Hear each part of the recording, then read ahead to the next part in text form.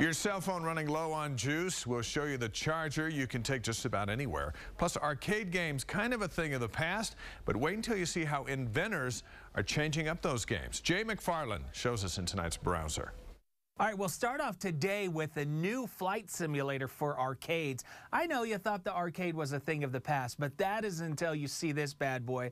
This thing is a flight simulator that can do complete 360 degrees in any direction, and that's right, including upside down.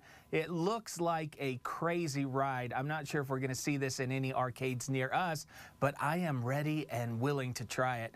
And then I wanted to show you a couple of new Kickstarter projects that I thought were pretty fascinating. The first one is this little robot printer. These designers say the printer has not changed for about 10 years. It's not mobile. So look at this little printer. It's like a little Roomba, you know, for your carpet that sits on the page. It can sense the edges and you can carry it in your pocket and print wherever you want to go. So that's very cool. And then also this, if you run out of energy or electricity on your phone and you need to charge it, all you need is a little bit of wind. These guys are offering up that's right, a portable wind turbine for your cell phone or your laptop. You have to be outside though, and you need a wind source.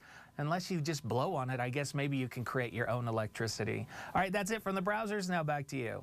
I guess I'm just going to stick to the regular charger. Still ahead, the teen